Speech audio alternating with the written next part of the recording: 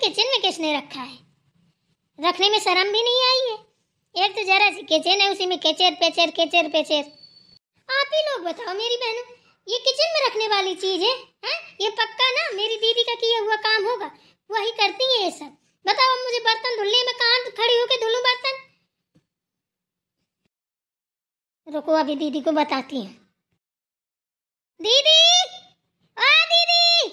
क्या हो गया छोटी दीदी, इतनी तेज तेज क्यों चिल्ला रही है? दीदी को बुला रही हूँ।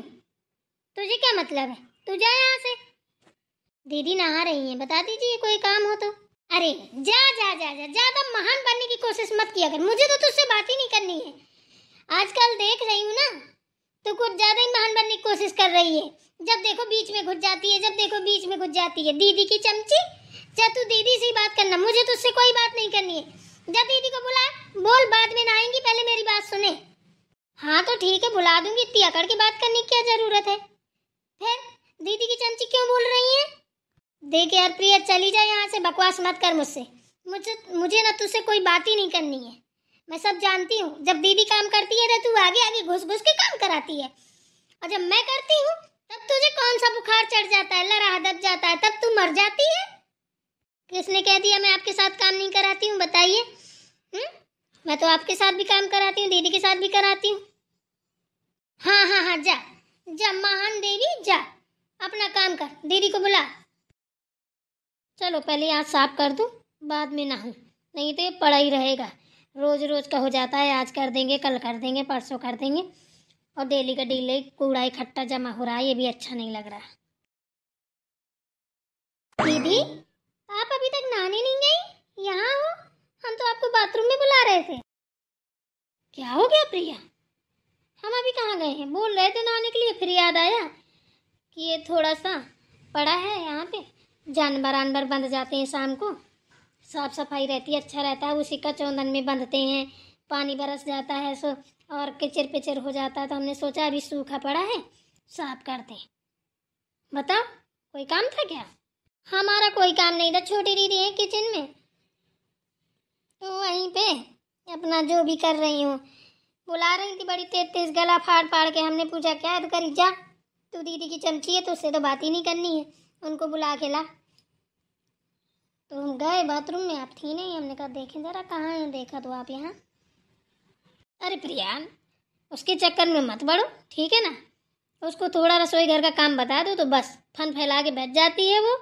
बस, फूसती रहती है वहीं पे, और कोई काम नहीं। अभी देखना अगर खाना बनाना पड़ गया ना, ऐसा खाना बनाएगी कि ना तो गाय भैंस को तक पसंद नहीं आएगा। बेमन का काम करती है पूरे दिन बेमन का। बहुत सही, क्या बात है। तभी तो हम सोचे कि ये प्रिया और दीदी क्या मिलकर चुकरिया में गुड़ फोड़ रही हैं?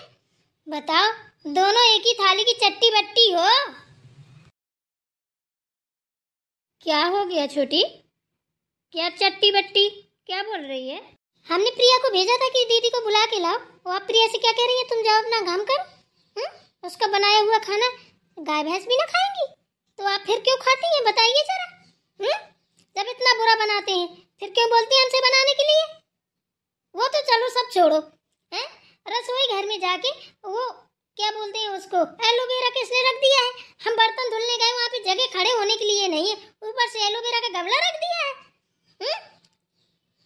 वो क्या कम था जो किचिर पिचिर मचा था, जो और किचिर पिचिर मचा दिया है? तो हमसे क्यों कह रही हो? माँ जी ने रखा, माँ जी से जाके कहो। जब देखो तब तानाशाही हमसे दिखाती हो। एक बात सुन लो छोटी, हमसे ऊँची आवाज़ में बात मत किया करो। बहुत दिन हो गए सुनते सुनते। जब देखो तब होता है, चलो छोटी बहन है, चलो छोटी बहन है। छोटी बहन है तो छोटी बहन के दिमाग सरग में है हुँ? थोड़ा तमीज से, बात करना सीख लो। हम बोलते नहीं है, इसका मतलब ये नहीं है कि तुम कुछ भी बोलती रहोगी। गुस्सा करना हमें भी आता है, तन्ना ना, हाथ बाहर फेंकना, आँखें चढ़ा के बात करना हमें भी आता है। ठीक है ना? अपनी अकड़ अपने पास रखा करो, हमेशा अकड़ मत दिखाया करो। सही कहा दीदी आपने, बिल्कुल। हमें चमची बोल रही हैं, हम क्यों किसी की चमची? हमारे लिए तो आप दोनों बराबर हो। हमें मत घसीटा करो किसी बात पे। हमें तो बिल्कुल पसंद नहीं है। वो ची ची पी पी तो हमें बहुत ही बुरा लगता है। इसीलिए चीची पीपी की वजह से हम खुद काम करते हैं कि कोई कह ना पाए। वाह, तुम ही तो महान हो प्रिया। बाकी हम तो बेकार हैं, है ना? जब देखो तब। मान गई मैं तुम्हें, मान गई प्रिया। तुम्हें इतनी भी तमीज नहीं है, मैं तुमसे बड़ी हूँ। कैसे बात करनी चाहिए, कैसे नहीं बात करनी चाहिए? हुँ? हम भी तो तुमसे बड़े हैं। क्यों? अगर तुम उससे बड़ी हो तो हम भी तो तुमसे बड़े हैं। तुम्हें तमीज नहीं हमसे कैसे बात करनी चाहिए? हम तुम्हें कभी पलट के जवाब देते हैं? हम तो ये सोचते हैं, चलो, मेरी बहन है, छोटी है। मेरी सगी बहन होती, वो कभी इतनी बदतमीजी से बात नहीं करती और न लड़ती, झगड़ती। जितना तुम लात लगाए हो ना, कोई नहीं है घर में ऐसा। दादी माँ जी जिनको बोलना चाहिए, वो भी नहीं बोलती हैं। पता नहीं किस जन्म की दुश्मनी निकाल रही हो? कुछ समझ ही में नहीं आता हमारे। आज बोल दे रहे हैं हम लास्ट बार बोल रहे हैं। सोच लो, हमसे बात करनी हो तो तमीज से करना, वरना कभी बात मत करना। और नहीं, अगर हमारा हाथ उठ गया तो फिर मत बोलना। अच्छा तो मतलब आप हमारे ऊपर हाथ उठाएँगे? ये अधिकार आपको किसने दिया? हुँ? मनोहर जी ने एक थप्पड़ मारा था हमें, आपको पता है? दादी ने क्या किया था उनके साथ? हुँ? याद तो होगा कि याद दिलाऊं। मनोहर जी ने ना थप्पड़ कर्मों के अनुसार मारा था। जैसे तुम्हारे कर्म है, वैसे उनने थप्पड़ मारा था। और तुम सोच रही हो कि दादी हमें मुर्गा या मुर्गी बनाएँगी ना तो ये सपना देखना बंद कर देना। कि हम तुम पे थप्पड़ जड़े और दादी हमें मुर्गा बना देंगी। उल्टे तुम ही बनवा देंगे। हम तुम्हारी हरकतें बताते नहीं है, नहीं तो तुम डेली मुर्गा बनाई जाओगी। समझ गई? तो जितना दिमाग चला रही हो ना, ये चलाना छोड़ दो। और सुनो, अगर हम बाहर का काम करेंगे तो पूरा घर के अंदर का करोगी।